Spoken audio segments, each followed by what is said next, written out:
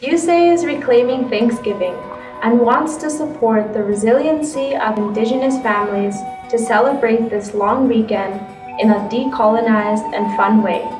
In that spirit, USAY is inviting you to rethink Thanksgiving, how you can decolonize your life and reclaim historically unjust holidays and celebrations.